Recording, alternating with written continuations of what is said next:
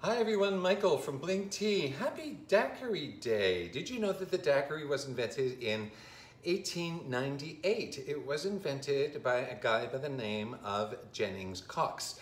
He was an engineer who was working at a mine in a little town called Daiquiri, Cuba. One night he went to his locals, slipped behind the bar and created the daiquiri. Uh, and it's been with us ever since in multitudes of iterations and of which one, ours is one today.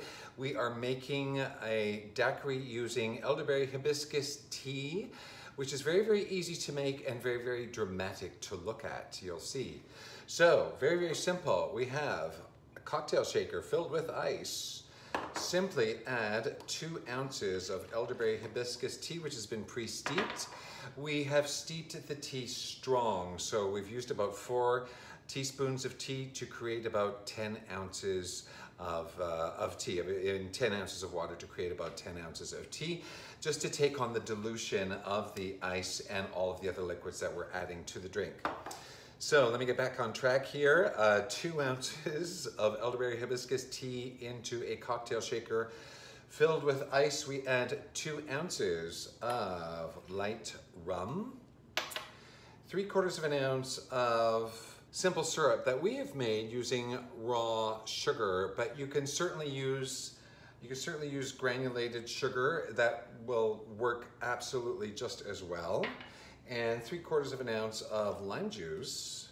There you go, that's all there is to it. Now put the top onto the cocktail shaker and give it a good six to 10 second shake. Um, my cocktail shaker, I give it the nickname Leaky, uh, so I should not be wearing a white shirt, so let's hope this works. Five, four, three, two, one. Okay, let's get a look at this. Simply pour it into, I have a highball glass or a Collins glass that is filled with ice. Simply pour it in there and it's this is going to leak. I can tell right now. If anybody out there wants to buy me a nice cocktail shaker, please feel free.